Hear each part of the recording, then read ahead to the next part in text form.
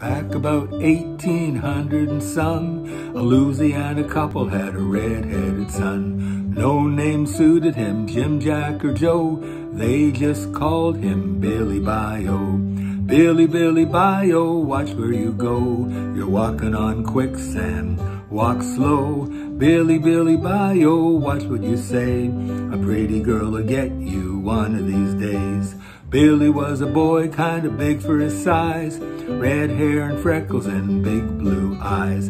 Thirteen years from the day he was born, Billy fought the battle of the Little Big Horn. Billy, Billy Bayou, oh, watch where you go. You're walking on quicksand, walk slow. Billy, Billy Bayou, oh, watch what you say.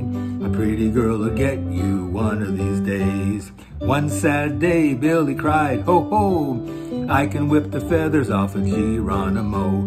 He smiled it off, the chief got mad. This nearly ended our Louisiana lad. Billy, Billy Bayou, watch where you go. You're walking on quicksand, walk slow.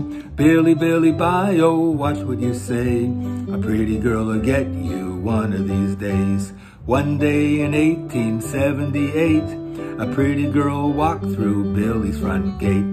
He didn't know whether to stand there or run. He wound up married cause he did neither one. Billy, Billy Bayou, watch where you go. You're walking on quicksand, walk slow.